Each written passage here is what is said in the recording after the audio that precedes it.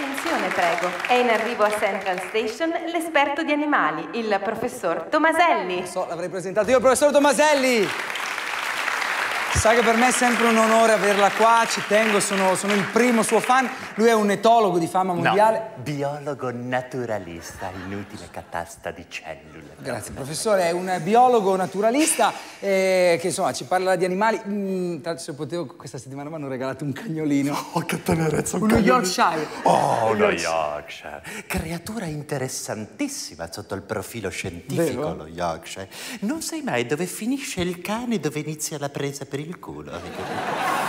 No, dai, scusa, è un animale, cioè, a parte che è meraviglioso, gli voglio bene come una persona. Sì, Cioè, ma non è una persona, eh? Diciamo che è un surrogato d'affetto per conduttori tristi e soli. Assomiglia molto di più ad un ratto domestico incapace di procacciarsi il cibo. vabbè, è povero, è, è piccolino, però gli voglio un bene dell'anima, insomma. sì, cioè, eh, io, io lo, lo- lo- proprio lo tratto con, con amore. Lei ce l'ha un animale preferito? Sì, sì, che ce l'ha un animale preferito. Tantissimi animali preferiti. Comunque il tuo Yorkshire, hai mai provato a togliergli i croccantini al salmone, ok? E a mollarlo per un paio d'ore all'idroscalo.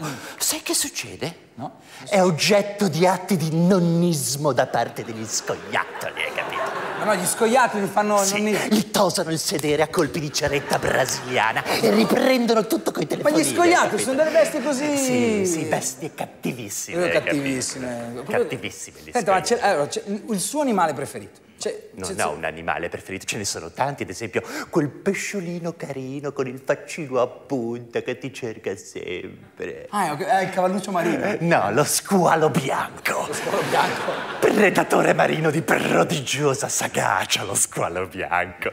Hai mai provato a togliere le crocchettine al salmone allo squalo bianco? Lo sai che cosa fa?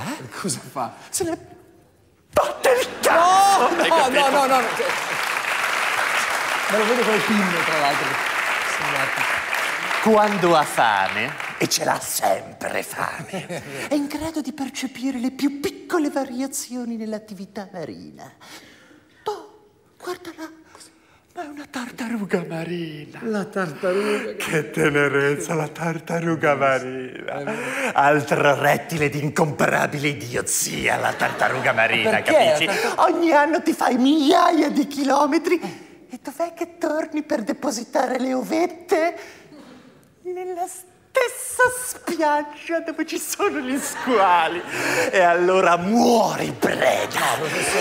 Ma prima vai pure a fare il... No, no, no, no, no, no, no, no, professor, calma.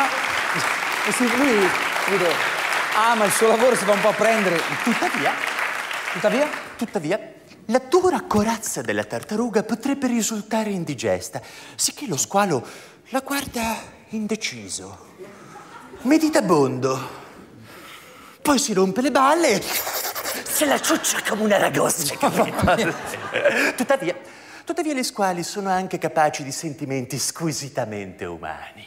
vedi che... Sicché talvolta, dopo essersi nutriti della tartaruga, con il musetto spingono il guscio a riva della famiglia.